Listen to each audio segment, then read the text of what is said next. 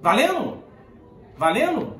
Hoje eu estou sendo filmado, como vocês podem ver. Estamos de volta. Estou sendo filmado pela Renatíssima Chamilê, minha produtora. E como vocês podem ver, a gente não está em casa aqui hoje, né? A gente está voltando aqui com a retrospectiva do concurso de marchinha, mas a gente não está em casa porque a gente está aqui na casa do pai do Batata, do Robson Batatíssima, do atleticano de maior estirpe, do Batatão, né? Da maior estirpe. E a gente está aqui no Alto Vera Cruz, numa esquina mais movimentada, que inclusive estão quitando ali, maravilhosa. Assim, lá, Renatinha? A feira ali da, aqui do Alto Vera Cruz. É a esquina mais movimentada do Alto Vera Cruz aqui, ó. E a gente está gravando. Olha só como é que ele é atleticano. Ele é atleticano mesmo, pai do Batata. E aí a gente está gravando aqui um especial do Samba de Noel, que vai ao ar amanhã, nessa terça-feira. É um especial de carnaval do Samba de Noel. E estamos aqui fazendo esse corre de carnaval, né? Pelo menos isso, para amenizar um pouco né, a sofrência que é ter carnaval esse ano. E, mas a gente não podia também ficar sem continuar a retrospectiva do concurso de marchinha. Então vim aqui para a sala aqui da, da casa do pai do Batata e vim lembrar aqui do quinto concurso de marchinha que a gente fez lá no Distrital. É, foi a, a, primeira vez que a gente foi para o Distrital, não é? Acho que foi a primeira vez que a gente foi para o Distrital, que foi a casa dos últimos concursos de marchinhas todos. E tivemos alguns destaques esse ano muito legais. Eu lembro do Super Coxa do Rafael Panciga, que era uma marchinha ótima. Eu lembro que o Rafael Panciga é ótimo de violão, é um violonista incrível, assim, então fez uma marchinha com harmonia incrível. É, teve uma marchinha do Pablo Castro muito bonita, ficou em terceiro lugar também. E a disputa ficou entre duas marchinhas que eram dos profissionais do carnaval. Né? O Vitor Veloso né, assinou, assinava as duas marchinhas, que ficou em segundo lugar, que é o pre Prefeito Vai Tomar no Cooler, e em primeiro lugar, que era o Eixo Saco do Chico, foi em parceria com o Marcos Frederico, nosso querido Marcola, o homem mais sexy de Belo Horizonte, é, que defendeu o Não Enche o Saco do Chico, que virou. Primeiro eu vou falar da, do prefeito é, Libera o Cooler, não sei se vocês lembram aqui em BH em 2016, que foi os concursos, né? É, tava rolando uma, um projeto de lei para a galera não poder sair com cooler no carnaval, porque tinha que beber a cerveja que, que patrocinava o carnaval, uma viagem dessa prefeitura, enfim. E aí a galera fez o prefeito libera o cooler, que é assim, ó. Pode tomar a cerveja que for, seja da forte ou da fraca, desde que não ponha no isopor e desde que o prefeito escolha a marca. Ele quer privatizar o carnaval, falar com o prefeito, cara de pau, onde ele vai tomar? Vai tomar um cooler, oh, vai tomar um cooler.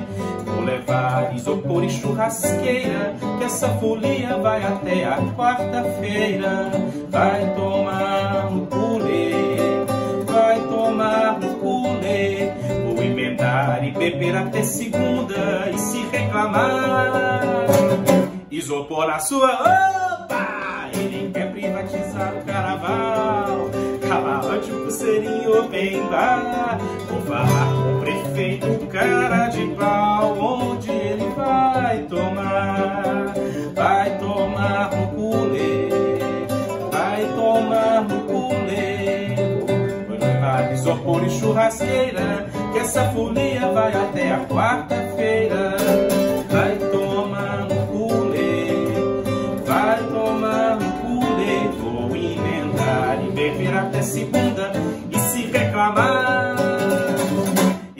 na sua.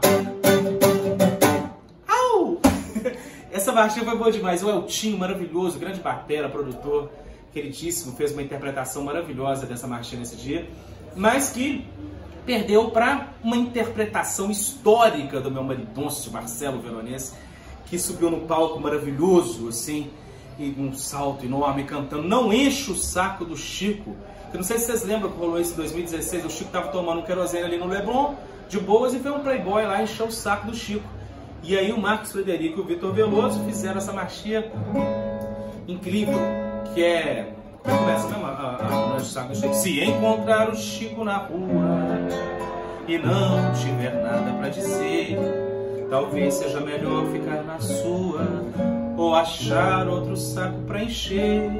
Você pode ter a sua opinião e, e, pode discordar do Chico, mas se for para tirar satisfação, é melhor tu você fechar o bico. Não pode, não pode, playboy patriarca, patriota de Araque, não pode, não pode encher o saco do Chico Buarque. Ai, agora estamos esquecendo a letra, vamos lá. Não. Se encontrar o Chico na rua, vamos lá, e não tiver nada pra dizer, talvez seja melhor ficar na sua ou achar outro saco pra encher. Você pode ter a sua opinião e pode discordar do Chico, mas se for pra tirar satisfação, é melhor você fechar o bico. Não pode, não pode, playboy patriota de Araque. Não pode, não pode encher o saco do Chico aqui. Não vai passar intolerante nem por um segundo.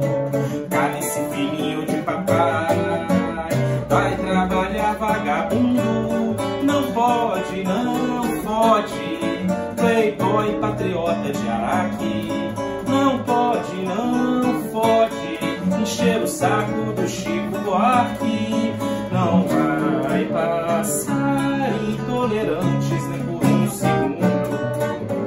Cale-se, filhinho de papai, vai trabalhar vagabundo.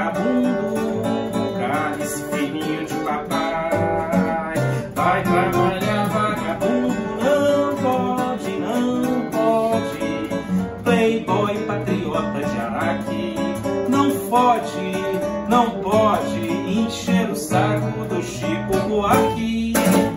E foi uma interpretação maravilhosa do Veronês. Eles- os meninos, inclusive, defenderam essa marchinha na Fundação Progresso, né, Rê? Lá no Rio de Janeiro. E foi uma marchinha. Eles ganharam lá, ainda bem, lá no, lá no Rio. Então ganharam lá, no, são bicampeões com essa marchinha, que é uma marchinha incrível. E realmente não fode, né? Não vai encher o saco do Chico Buarque, né? Então a gente volta amanhã com memórias e lembranças e tocadas do sexto concurso de marchinha Mestres Jonas. Até lá.